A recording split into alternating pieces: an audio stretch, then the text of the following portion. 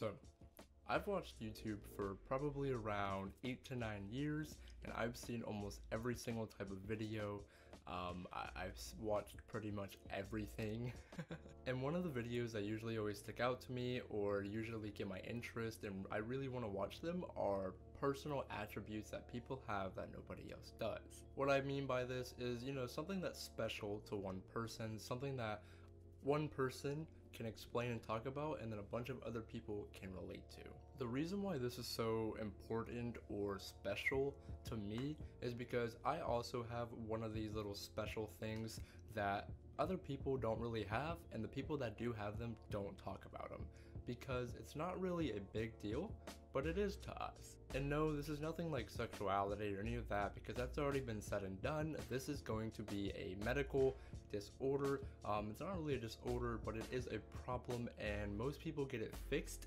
And I have not done that yet, so I still have it, and I wanted to talk about it. So, what I'm going to be talking about today is actually underbites. Now, you might be thinking, why, why are you making a video about underbites? It's just something small. Here's the thing, I have one of the worst underbites you can possibly ever have. Mine is almost an inch apart. Yes, my top jaw and my bottom jaw are almost an inch apart. And that's why I wanted to talk about it today because when I was scrolling through YouTube and I, I searched underbites, underbite vlogs, everything about underbites, underbites, all it was was people fixing them, people getting them fixed, underbite surgery, underbite reconstruction. So you can obviously tell that people do not want an underbite. People don't want this problem, this this medical disorder. So I wanted to talk about it and shed some light on it.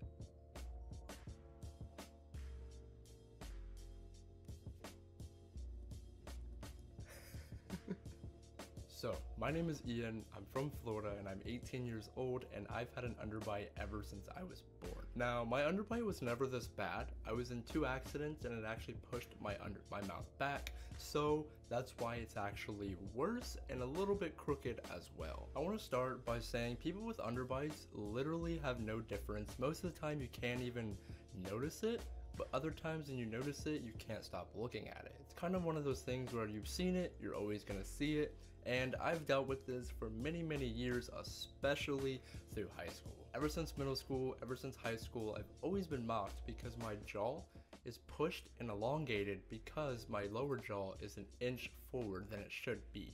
So I've always been called everything throughout the books, Crimson Chin, everything. Most people will have stipulations or stereotypes, you know, always a bad kisser, oh, stuff like this, which is not true. However, yeah, it just really sucks because everyone thinks that because my lower jaw is pushed forward that I have some type of disability, some type of incoherence, and that I really, really have just, I look weird.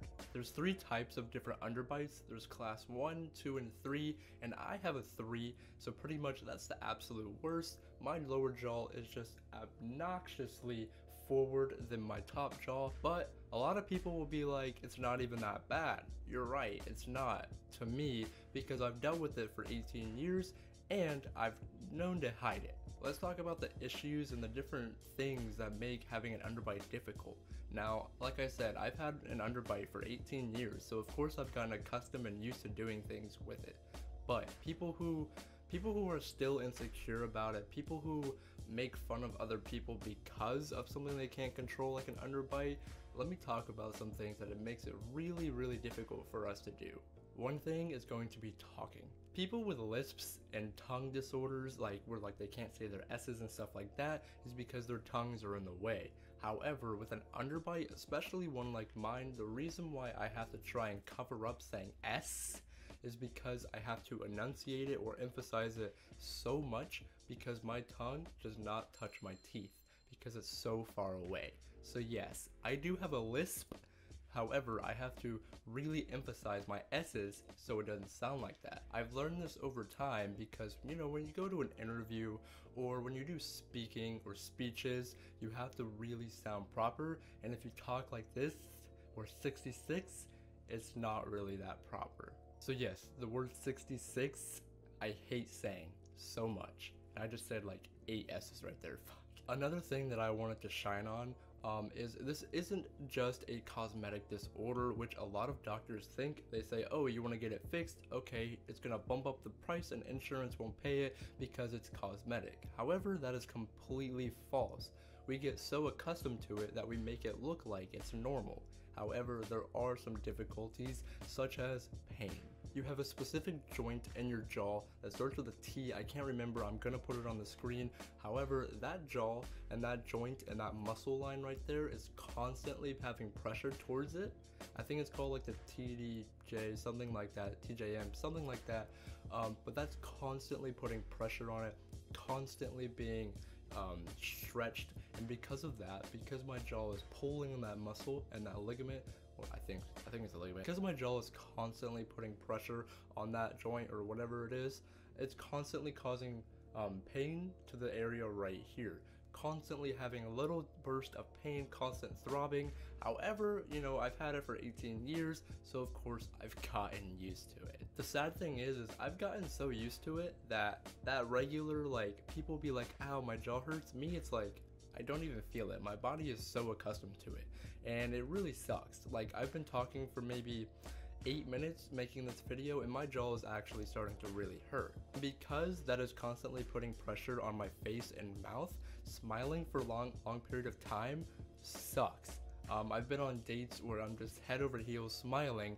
By the time I get home, my mouth is just killing me. My face hurts, like pounding hurts. And it's not my fault of course, it's it's an underbite. I want to talk about something that's pretty funny and I've been mocked and joked around with this a long time, but I don't even care anymore. It's, it's pretty funny to me also, and that's going to be eating. Sandwiches and pizza are my worst nightmare because you have to bite straight down and I can't. Biting straight down for me is like the worst thing ever because it'll get stuck in the middle and I won't be able to pull it and then everything will fall off. Pizza, sandwiches, everything.